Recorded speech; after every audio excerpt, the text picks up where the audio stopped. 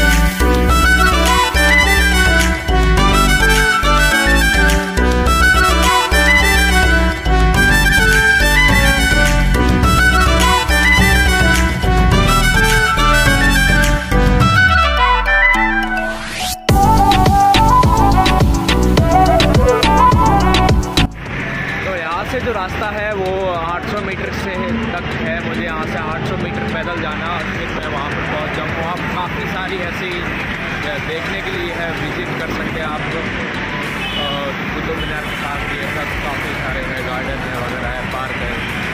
मैंने देखा नहीं कि क्या क्या है तो वहाँ जाते हैं, देखते हैं।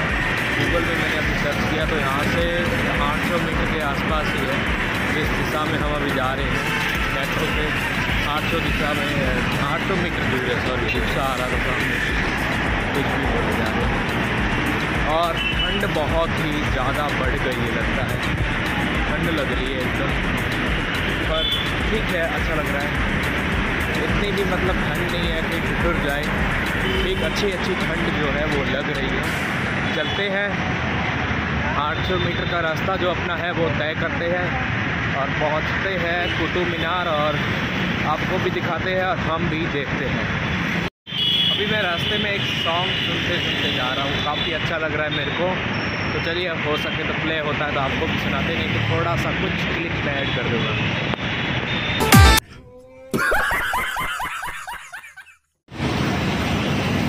मैंने अभी जो एक वीडियो रिकॉर्ड किया था मेरा सॉन्ग सुनते हुए, उसमें मेरा सॉन्ग जो है वो रिकॉर्ड ही नहीं हुआ।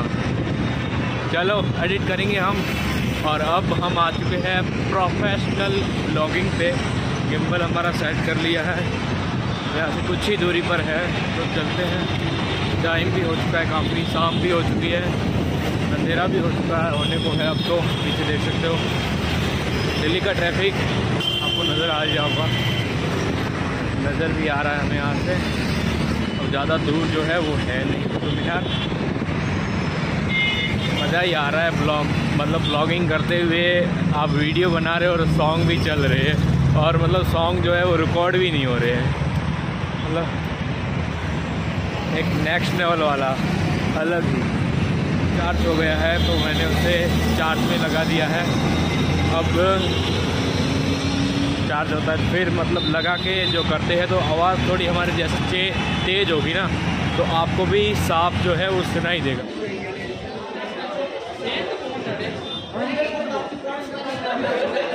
चुके हैं कुतुब मीनार और अंधेरा भी हो चुका है काफ़ी, यहाँ आप देख सकते हो। ऐसा यहाँ कुतुब मीनार पे लाइटिंग वगैरह हो रही है। तो आते आते काफ़ी समय लग गया। तो अब हल्की हल्की जो है ठंड भी है। चलिए, एक बार क्लिक करते कैमरे पे। और लाइटिंग हो रखी है गार्डन में, देखिए। किस तरीके से यहाँ पर लाइटिंग वगैरह है।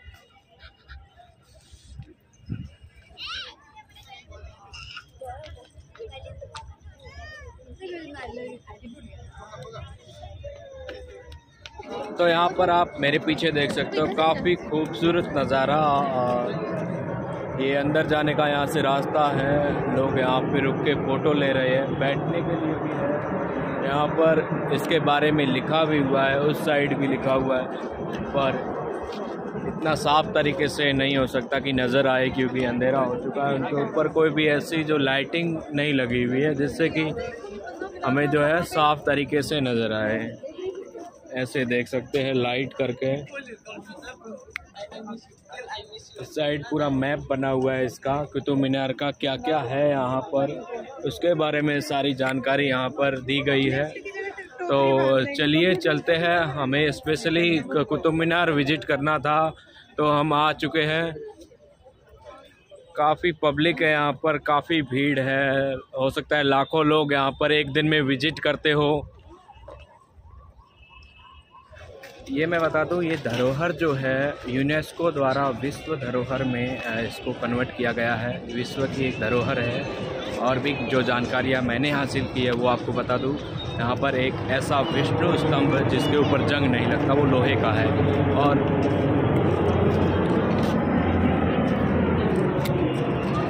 कहा जाता है कि जब यहाँ पर ये बनाया जा रहा था तो तकरीबन 27 मंदिरों, मंदिर जो थे यहाँ पर, उनको तोड़कर बनाया गया और उसकी जो देखें तो वो जो निशान जो मिलते हैं अंदर, इस कुतुब मीनार के अंदर है विष्णु मूर्ति है, वो हिंदू देवी देवताओं की मूर्तियाँ हैं, उनको देखकर कह सकते हैं कि यहाँ पर जो पहले सत्ताईस मंदिर थे, फिर उनको तोड़ा गया और उसके बाद कुतुब मीनार का निर्माण हुआ। ये सबसे बड़ी मीनार है विश्व की। और यहाँ पर आ, कई लोग हैं जो दिन में विज़िट करते हैं। इसका जो समय रहता है वो शाम के दस बजे तक रहता है। लोग सुबह आना स्टार्ट होते हैं और शाम को दस बजे रात को दस बजे यहाँ विज़िट करना फिर बंद हो जाता है। कुतुब मीनार की जो ऊंचाई है वो तिहत्तर मीटर की है सेवेंटी थ्री मीटर ये ऊँचा है। और जैसे जैसे ऊपर जाता है तो छोटा हो जाता है दो सेंटीमीटर का कुछ ऐसा करके है जैसे आप देख सकते हो ऊपर। नीचे से काफ़ी नीचे से काफ़ी बड़ा है और जैसे जैसे ऊपर जाता है तो छोटा हो जाता है। यहाँ पर काफ़ी ऐसी कलाकृतियाँ हैं जो उस समय की देखने के लिए मिलती हैं। काफ़ी सारी ऐसे 1100 बोराणों में जैसे इसका काम जो है वो शुरू हुआ था। उसके बाद ये आधा अधूरा ही बन पाया था। फिर इसका निर्माण कार्य शुरू हुआ और काफ़ी समय बाद ये बनकर जो है कुतुब मीनार तैयार हुआ था। यहाँ पर जो लोहे का स्तंभ है, जिसे विष्णु स्तंभ भी कहा जाता है, और उस पर कभी जंग नहीं लगता तो वो भी आपको दिखाते हैं। काफ़ी बड़ा इसका परिसर है अंदर घूमने के लिए, काफ़ी बड़ा है। ऐसे सिर्फ़ कुतुब मीनार ही नहीं है ये देखने के लिए। काफ़ी सारी ऐसी चीज़ें हैं, जो यहाँ पर लोग आकर देखते हैं और विज़िट करते हैं। इस मीनार की जो नींव रखी गई थी, वो वो नींव ग्यारह में रखी गई थी। कुतुबुद्दीन ऐबाक के जो मुग़ल शासक थे, उनके द्वारा इस मीनार की नींव रखी गई थी और उसके बाद ही इस मीनार का जो निर्माण कार्य है, वो चालू हुआ। जिसके बाद उसके उत्तराधिकारी तथा दामाद शम्स उद्दीन इतु तमसिन ने 1211 से 1236 के तीन और मंजिल इस पर जोड़े। अब तीन और मंजिल वो कौन से थे, वो मैं आपको दिखा दूँ। इसके ऊपर जो आपको नज़र आ रहे हैं, तीन मंजिल, ये तीन मंजिल उस समय जोड़े गए थे। इसकी सभी मंजिलों के चारों ओर आगे बढ़ी हुई है। देखिए, चारों ओर जो मंजिल है वो आगे बढ़ी हुई है और ये मंजिल इसी कारण ऊपर जाते जाते जो है, छोटी हो जाते हो जाती है। स्पष्ट है। यहाँ से आपको नज़र आ रही होगी वो स्पष्ट जो मधुमक्खी के छत्तों की तरह जो इसकी बनावट बनी हुई है।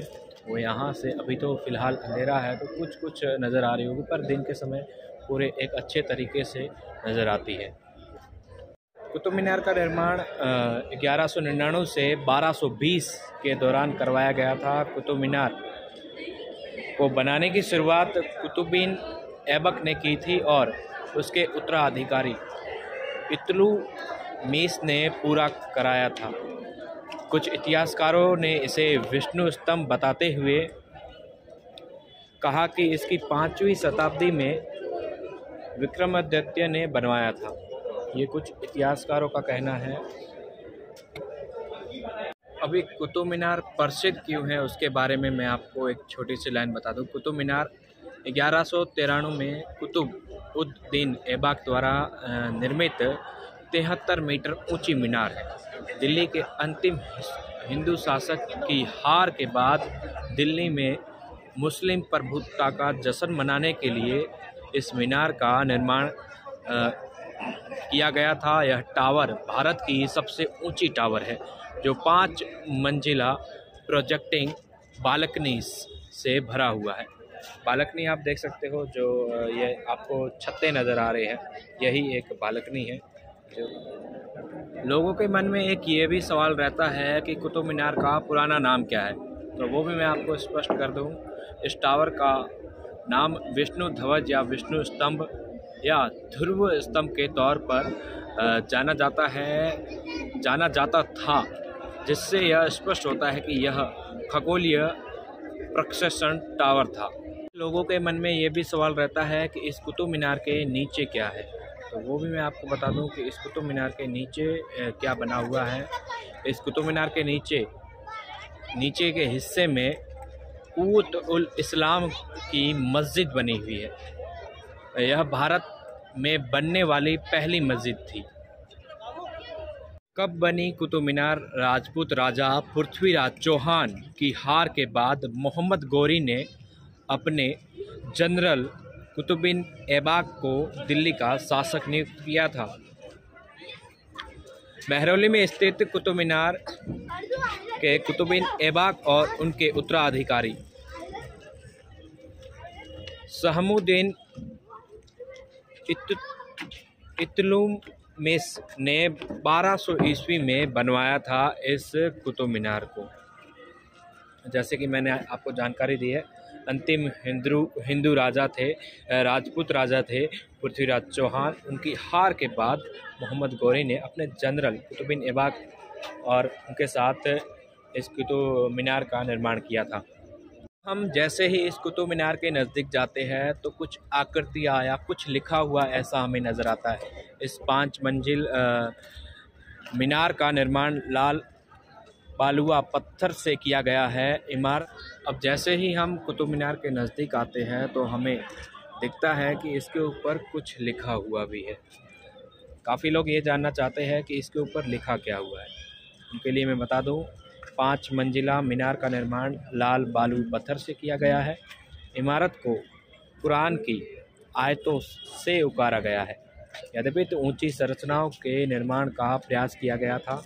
कुतुब मीनार उप महाद्वीप में अपनी तरह सबसे ऊँची संरचना है। आपको नज़र आ रही होगी, इसके ऊपर काफ़ी कुछ लिखा हुआ है। ये वही है जो मैंने अभी आपको बताया। ये तो कुतुब मीनार है, पर इसके ही जस्ट यहाँ जैसे हम आते हैं तो एक और मीनार है जो हमें अधूरी नज़र आती है। अब इसके बारे में बता दूँ कि ये अधूरी क्यों है। मीनार अभी पहली मंजिल पर ही पहुँची थी कि 1316 में 1316 ईस्वी में सुल्तान की मृत्यु हो गई। मृत्यु हो गई थी, परियोजना को जल्द ही छोड़ दिया गया था। अब खिलजी के भव्य स्मारक के अवशेष केवल खुरदारी धरा वाली छह मंजिली गोलकार इमारत है, जो स्मारक की छाया में खो गई है, जिसे आकार में कभी काट पाना संभव नहीं था। का नाम क्या है? वो लोग भी आप जानना चाहते हो तो इस मीनार का नाम है अलाई मीनार। अब इसके बारे में, इसका इतिहास जो थोड़ा कुछ हमें पता है, वो आपको बता दूँ। दक्कन के अभियानों में जीत के जश्न को यादगार बनाने के लिए अलाउद्दीन खिलजी ने 1311 ईस्वी में अलाई मीनार का निर्माण शुरू करवाया था। इससे पहले उसे कुवैत उल इस्लाम मस्जिद के बाड़ों का आकार चार गुना बढ़वा दिया था। मेरे पीछे जो ये दरवाज़ा देख रहे हो, ये 1310 में इसका जो बनकर तैयार हुआ था। कई ऐसी चीज़ें हैं जो यहाँ पर देखने के लिए काफ़ी बड़ा द्वार बना हुआ है, जिसका निर्माण जो है 1310 में बन के पूरी तरह से तैयार हुआ था। देख सकते हो, यहाँ पर भी काफ़ी जो इसकी नकाशी की गई है, वो काफ़ी खूबसूरत है, अपने आप में एक देखने की चीज़ है। लोग यहाँ पर आते हैं, फ़ोटो वगैरह लेते हैं और फिर यहाँ से वापस चले जाते हैं। तदु इस कुतुब मीनार का निर्माण कार्य जो है, वो क्यों हुआ था? क्यों ये बनाई गई थी? ये बनाई इसीलिए गई थी क्योंकि इस इस पर नमाज़ अदा की जाए, नमाज़ की जो पुकार है, वो की जाए। इसकी जो पहली मंजिल है, यहाँ तक ही ये बनाई गई थी और उसके बाद जो है, इसका, इनके जो दामाद थे, उनके द्वारा आगे निर्माण कार्य चालू किया गया। ये देखिए, यहाँ पर निर्मित ये कुएँ हैं जो कि इस निर्म इस कुतुब मीनार या यहाँ पर जब काम चल रहा होगा, होता था, जब पानी पीने के लिए जो आवश्यकता होती थी, यहाँ पर जो भी मंदिर वगैरह जो बने हुए थे तो उस परिसर में या इस मीनार के परिसर में ये कुएँ सार्वजनिक थे, लोग इसी से पानी पिया करते थे। पानी पीने के महत्वपूर्ण स्रोत भी थे। ये एक नहीं, ऐसे यहाँ पर कई कुएँ हमें नज़र आते हैं। जिनको ढक दिया है या वो कर दिया है, पर ये कुआँ यहाँ पर खुला है।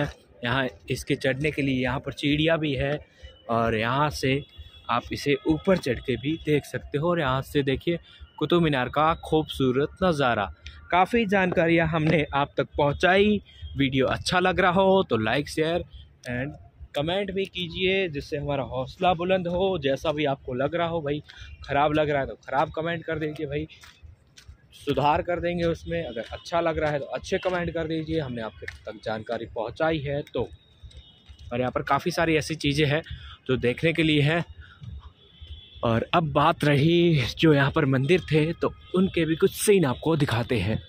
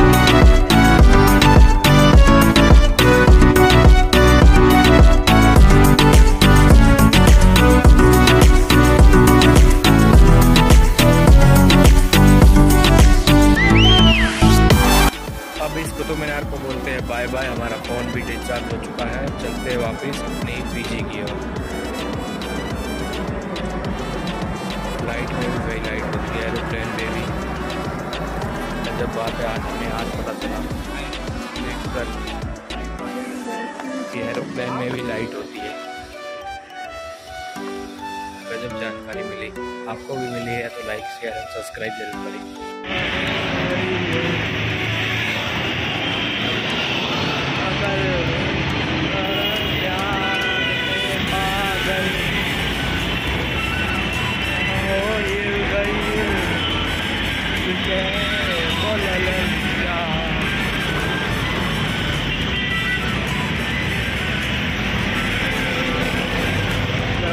Ha yeah